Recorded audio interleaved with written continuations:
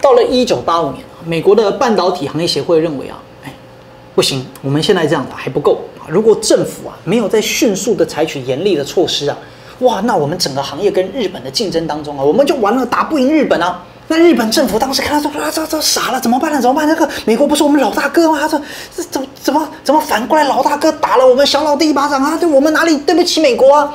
你没有对不起他，你就是赚美国太多钱，美国就很不爽啊，对吧？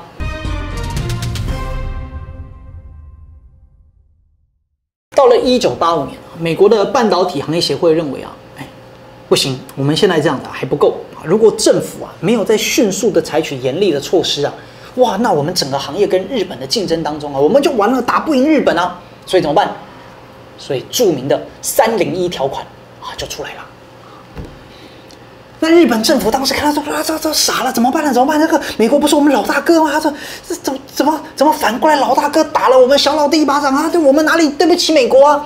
你没有对不起他，你就是赚美国太多钱，美国就很不爽啊，对吧？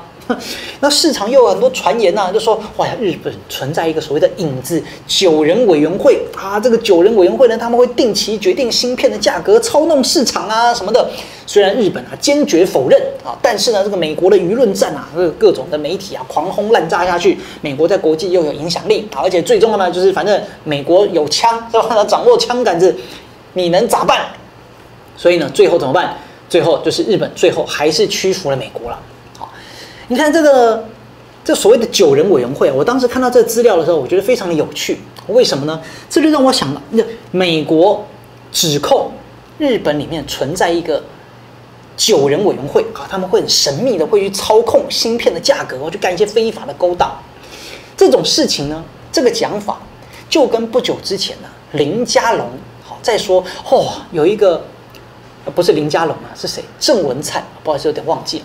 就跟不久之前郑文灿在讲说，哎呀，这个现在社会上有一个叫毁林小组啊，毁林志坚小组啊，毁林小组啊，在在毁灭林志坚啊，所以言下之意就是，反正台大有毁林小组啦，什么中华大学也可能有毁林小组啦啊之类的。那因为毁林，我就想到林家龙啊，因为 民进党是要捧陈时中，要毁林家龙。哎。没水了，哎，亲爱的小编，帮我倒杯水，谢谢。好，那这个毁林小组，我当时看到这个新闻的时候，我就觉得，我不知道大家有没有印象，二零零八年的时候啊，当时呢我还是一个呃啊，当时我才刚出生啊，当时我才刚出生，二零零八年的时候，当时呢是谢长廷啊就说，哦，国民党里面啊有个十人毁谢小组，是吧？十人毁谢小组，结果到现在呢？哎，你也看不出来那十个人到底是谁？那十个人是谁呢？不知道，从来就没公布。所以是什么？这种指控跟抹黑啊，一样，这十四年来都一样啊。郑文灿说：“哎呀，国民党有毁林小组，就跟当初谢长廷说，哦，你看马英九有毁谢小组，就跟美国当初说日本有这个神秘的委员会，都一样，是什么？胡乱骗人嘛，毫无长进。”坏人呢，基本上干的事情啊都差不多。